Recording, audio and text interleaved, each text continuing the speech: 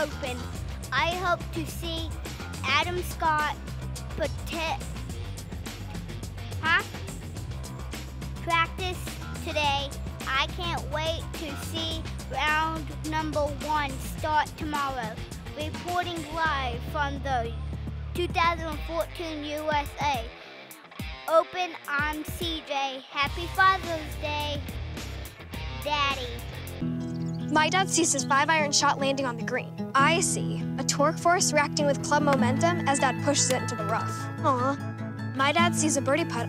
I see rolling resistance from friction causing the ball to lip the cup. I wish more kids like me were into STEM science, technology, engineering, and mathematics. Did you know STEM jobs are growing faster and paying more than non STEM jobs? Chevron has invested nearly $100 million in U.S. education. Learn more at chevron.com.